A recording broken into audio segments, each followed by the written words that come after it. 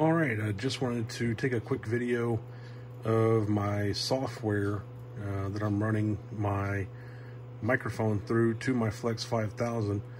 This is called uh, Cantibile or Cantible or whatever Lite. It's a free piece of software. Basically, it's a VST host, uh, plugin host. All of these processing uh, uh, plugins are free.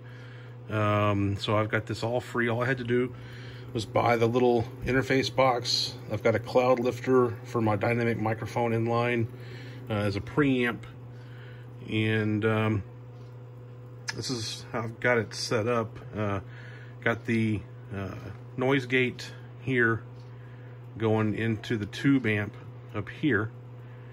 And then it goes to the EQ and over to the uh, compressor module and then through a de-esser and then out to the SPAN one um, spectrum uh, scope. So I can uh, kind of keep tabs on um, how it looks uh, how linear it is. So anyway again um, just free stuff that can make your radio sound really good uh, no matter what bandwidth you're running uh, I run 4K most of the time, um, and I get compliments. So, um, anyway, uh, if you would like to know more about it, just uh, comment on the video, and uh, I'll get back with you. KD5 FHW.